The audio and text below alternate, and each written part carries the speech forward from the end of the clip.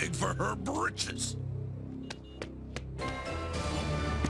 Come out, come out, wherever you are.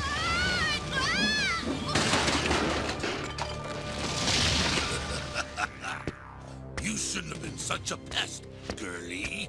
No! Picking on kids, big boy. How thoughtful.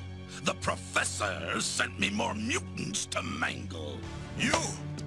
Robbed the bank and left me to get the blame. How could you do this to a fellow mutant? I'm not a mutant, tin head. My powers are magical, and none of you mutant wimps can handle them. We will see.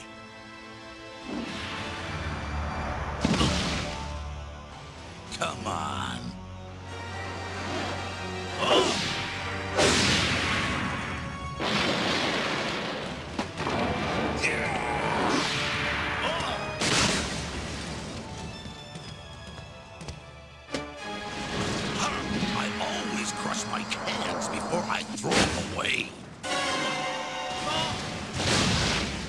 Thank you.